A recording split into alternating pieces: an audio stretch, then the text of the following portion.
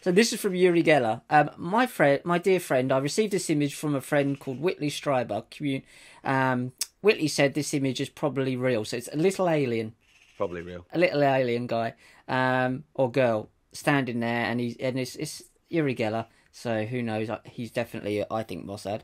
Um, but what made me really laugh is because how you could tell it's really real. Um, so he says his friend, um, he thinks it's real because of two things. Right. The prominent vagina is immediately evident. But why does that make it real? That's real. Because look at the look at the fanny. Look at the fanny on that one.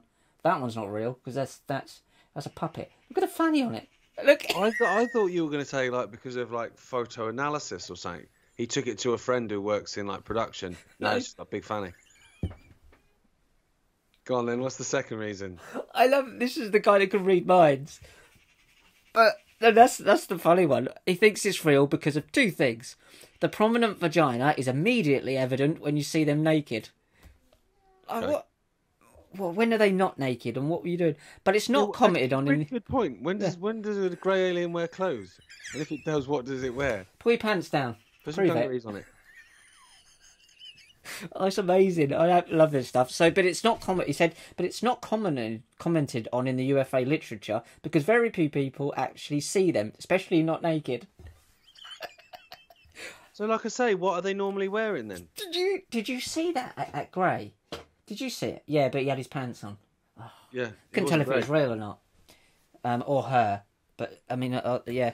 Uh, did he have a big big fanny? No, I didn't. I don't know. It had trousers on. I want to know the second reason. Sorry, I'm stuck on this reason. I don't think the second reason is as funny. Secondly, they produce. Sorry, they reproduce in a manner very different from us. Oh, it is funny. What in the world she's doing in a basement of an abandoned building in Mexico? I cannot imagine. I don't, I But what does know. that mean? That doesn't mean any- that doesn't mean anything. So she didn't So- explain how they reproduce, but apparently it's very different from us. In the But- ear.